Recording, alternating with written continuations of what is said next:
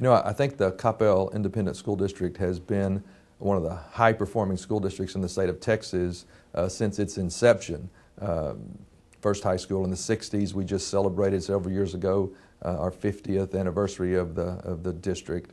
Uh, and so Coppell has always been a high performing district. Uh, in our 2003 uh, strategic plan, I think we did a great job, made a lot of progress in making the district better uh, in the current system, and, and really, I think, coming a, a long way. Uh, you think about the dual credit program and the other things that have happened since that first plan in 2003, and we're really excited about the progress that we've made. Uh, unfortunately, no matter what we have done, uh, the uh, it seems like we can't ever meet the expectations of the greater society in terms of preparing our kids. Uh, in Coppell, we're very successful uh, in the system. If you compare us to other school districts in the state, very successful.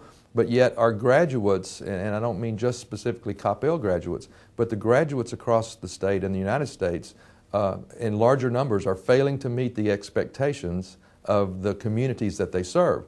Uh, that's a factor of the fact that you know our present system, uh, created in uh, 100 years ago, uh, was set up to sort and rank kids, and only about 10% of those kids would go on to higher education and the jobs that, that they filled. The rest of them would, a bunch of them would graduate from high school and then they'd go straight into the workforce, and then a bunch, maybe 30 to 40% of those kids back in the 50s and 60s, never made it through high school. They went straight into the workforce in low level jobs.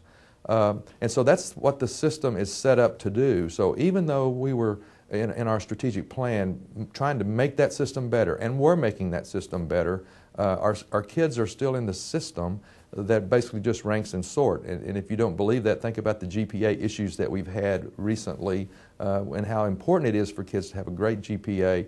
Uh, so much stress on that. Uh, it's a ranking and sorting system. It's not really a system set up to meet 21st century uh, society needs. And so we were struggling with that.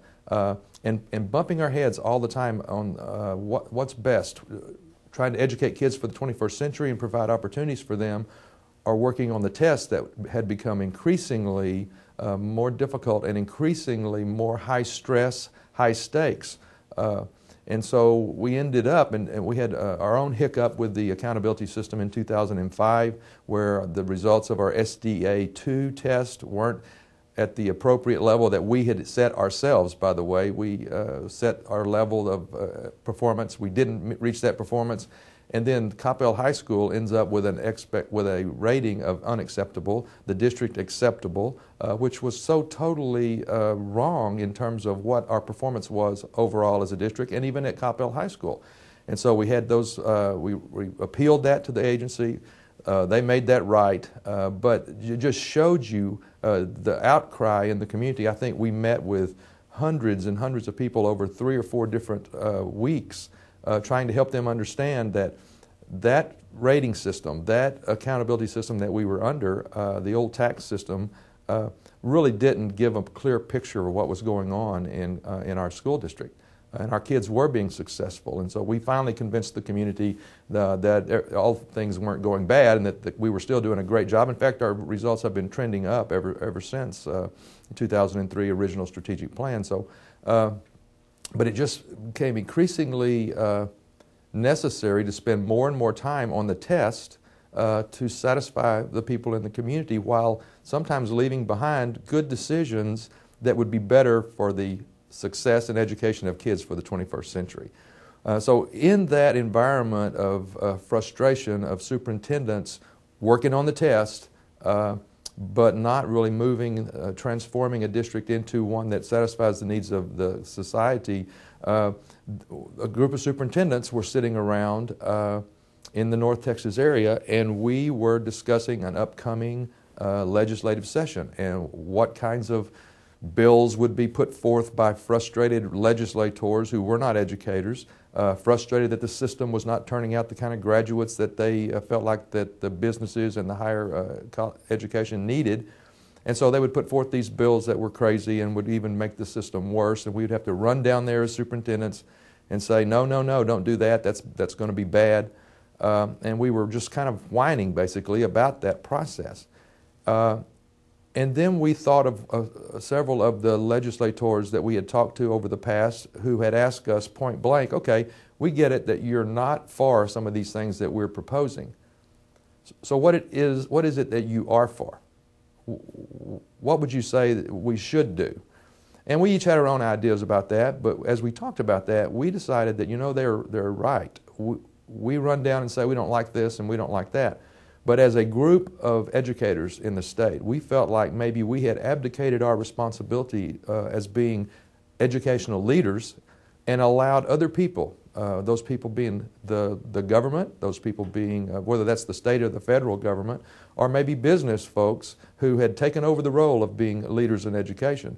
And we didn't really know uh, collectively what we believed uh, we should be doing in schools to change this system in order to prepare 100% of our kids for a future that was so different from the, the, the, world that we all inherited coming out of school. So we committed to do something about that. And we got together over the period from 2006 uh, for about 18 months, uh, about 35 of us across the state. Uh, we brought in some of the educational leaders of that time, uh, thought leaders uh, like Milton Chen, uh, Phil Schlechty, uh, Doug Reeves, several of the others. We brought somebody in, Ian Jukes from technology, and we allowed those, uh, those n- national thought leaders to talk to us about what they felt like we ought to be doing in schools. And they spent a day, half a day with us, and then we dismissed them, and then we wrestled around with uh, did we believe that uh, to be true about the future? And if we did believe that, what impact would that have on schools and the way schools were organized? And we spent about 18 months doing that. Uh, and at the end of that 18 months, we came up with a product, a white paper called Creating a New Vision for Public Schools in Texas. Uh, that was written in 2008. I believe you can get a copy on our website.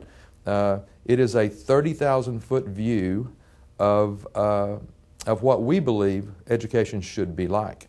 Uh, during the process between 2006 and 8, I was coming back from those conversations. We were having uh, discussions administratively uh, about the same issues. You know, in Coppell, what's that mean? What could we do here? And uh, teachers that have been here since that time would recognize we were starting to try things, play with things on campuses uh, to help us move from a more traditional uh, system into one that uh, is more student centric. And so we were trying some things. And then in our 2009 strategic plan, we actually gave every member of the uh, strategic planning committee a copy of the white paper. Uh, we started with the base, and then we built a strategic plan in 2009 uh, that reflected a lot of the values uh, that was, were in the white paper originally. And so, you know, when you, when you lay our strategic plan of 2009 and the white paper side by side, you see a, a lot of similarities, a, a lot of alignment. And so, since that time, we in the district have been trying to um, move forward with some of the things, uh, some of the, the, what we consider to be more 21st century uh, opportunities for kids to be engaged. The, the big buzzwords for us in Coppell became engagement of the learner giving learners choice in some of their uh, education, maybe uh, choice in terms of, of, of, programs they got into, maybe choice in terms of how they showed teachers they could master uh, different materials. And so we started playing with a lot of that things. New Tech High was, uh, came out of that. Uh, the Town Center STEM Elementary School came out of that. A lot of the other initiatives that you see on campus have come in response to our reading, studying, researching, and trying to figure out how we can get these kids more involved in their education rather than sitting back and listening to a teacher and then regurgitating that on the test. We've tried to move the emphasis to preparing kids for the future and away from just teaching to a test uh, that the state has given us. Uh, since that time, there have been a lot of uh, action and a lot of things going on at the state level, uh, but we are right in the middle of it. In fact, I wouldn't even call it right in the middle of it. We are actually uh, on the point of the spear, basically. People are coming here to see what's going on in Coppell, and I'm really proud of the way the teachers have reacted. It is, it is difficult to leave past practice, especially since when you think we have a whole generation of teachers. In fact, myself, I started teaching at the time of the TABS test.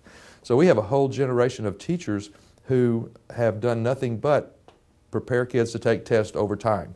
those, as those tests have become increasingly time consuming and incre- increasingly more high stakes to them, uh, we've gotten to the point it, it's just it's too much. It's too much stress on teachers. I, I feel horrible uh, for teachers who are so worried about tests and what the rankings are and all those things that go with that. And so we are working toward uh, transforming this system uh, based on our strategic plan and its alignment with the creating a new vision for public education in Texas. And it's just real exciting to see and to walk into our campuses and see the great things that are going on for kids in these classrooms where kids are not just listening to teachers, but they're engaged in the content. And when they are engaged in that content, we know that they, they know, they remember that uh, event and that learning very much uh, longer. It's more profound. It's not just surface, memorize this, take the test, and then forget it two weeks later. And so we're really exciting about, excited about what's going on here in Coppell. We know we got a long way to go. It's not something you snap your uh, fingers or use pixie dust. It is just hard work in the classroom, helping our great teachers uh, move away from that. I've got to tell all these kids what I know to let me design lessons that cause the kids through the course of their work collaboratively together to learn this material and content just better than they would have if I'd have just told it to them. So it's a real exciting journey, and I'm real excited to be involved in that in, in Coppell ISD.